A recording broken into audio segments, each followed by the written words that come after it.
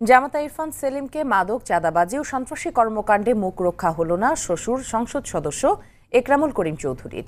এলাকাবাসী বলেছেন, নির্বাচনের আগে সব কথাই ছিল জনগণের সঙ্গে প্রতারণার ছক। নৌ কর্মকর্তার মোটরসাইকেলের ধাক্কার জেরে হত্যা চেষ্টা মামলার পর র্যাবের অভিযানে বেরিয়ে আসতে শুরু করেছে থলের বিড়াল। এ আর বাদলের রিপোর্ট।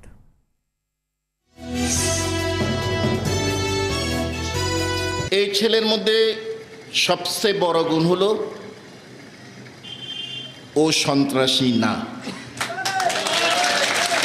বড় গুণ হলো, ও চাঁদাবাজ না। আরও বড় গুণ হলো, সে টাকার অভাবই না। আপনার পকেটে যাইয়া চাঁদাবাজি করবে না। নির্বাচন কমিশনকে বুড়ো আঙ্গুল দেখিয়ে গত ঢাকা সিটি কর্পোরেশন নির্বাচনে তিরিশ নম্বর ওয়ার্ড কাউন্সিলর প্রার্থী মেয়ের জামাই ইরফান সেলিমের পক্ষে এভাবেই নির্বাচনী প্রচারে নামেন শ্বশুর। তখন প্রকাশ্যে আচরণবিধি লঙ্ঘনের অভিযোগ উঠলেও ব্যবস্থা নেয়নি নির্বাচন কমিশন।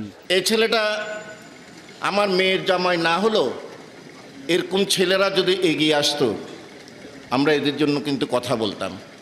আজকে এখানে এসেছি, জানি না নির্বাচন কমিশন থেকে লাল কার্ড পাই না হলুদ কার্ড পাই কারণ আমাদের এমপিদের তো ভোট করা নিষেধ। আর আপনাদেরকে একটা ভালো ছেলে দেওয়ার জন্য লাল কার্ড না হয় পেলামই অসুবিধা কি? ইরফান সেলিমও ভোট পেতে কথার চাতুরতায় ভরপুর। আমি এতটুকু ইনশোর করতে চাই যে আপনারা যেন নিশ্চিন্তে যেন ব্যবসা করতে পারেন। যেভাবে আমার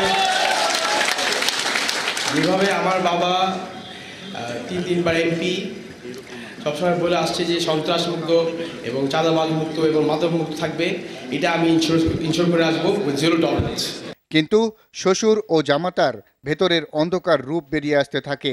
গত চব্বিশ অক্টোবর নৌ কর্মকর্তার মোটরসাইকেলে ইরফানের গাড়ির ধাক্কার ঘটনার পর ইরফানের নেতৃত্বে মারধরে আহত নৌ কর্মকর্তার দাঁতও ভেঙে যায়। I was on the way এই গাড়ি আমাকে হিট করছে। হিট করার পরে আমি ব্রেক করছি। ব্রেক করে আমি পরিচয় দিচ্ছি আমি লেফটেন্যান্ট ওয়াসিফ বাংলাদেশ সশস্ত্র বাহিনী প্লিজ একটু ওয়েট করেন। আমাকে নেমেই সাথে সাথে মারলো। আমার ওয়াইফের গায়ে হাত তুলছে I have given security to prime minister I prime minister saver officer আমি আই হ্যাভ সার্টিন এসএসএফ আমাদের আপনাদের কালকে মেরে ফেলতে হচ্ছে। প্রাণনাশের চেষ্টায় ইরফানের বিরুদ্ধে মামলা হলে র্যাবের অভিযানে প্রমাণ হয় ইরফান সেলিম মাদক ও সন্ত্রাসী সহ নানা অপকর্মে জড়িত। নিজস্ব বেজ স্টেশন স্থাপন করে ওয়াকিটকি ব্যবহার করে গড়ে তোলেন প্রাইভেট বাহিনী। আইন শৃঙ্খলা বাহিনীকে ফাঁকি দিয়ে চালাতেন চাঁদাবাজি ও সন্ত্রাসী কর্মকাণ্ড। মূল অভিযুক্তকে টর্চার সেলে নির্যাতন সন্ত্রাসী কর্মকাণ্ড ও জমি দখল সহ নানা অপকর্ম থেকে রক্ষা এবং নিজেদের জীবন বাঁচাতে প্রধানমন্ত্রীর হস্তক্ষেপ চেয়েছেন স্থানীয়রা। এই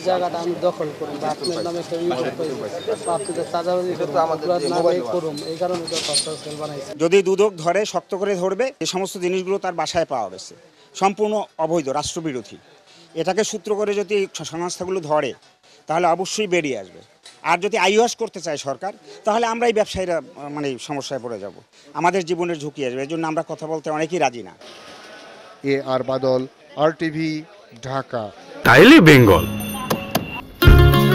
জীবনের মধুর গল্পে শুভ পরিবর্তনকে স্বাগত জানায় বেঙ্গল চেয়ার। বেঙ্গল, আস্থা শতভাগ।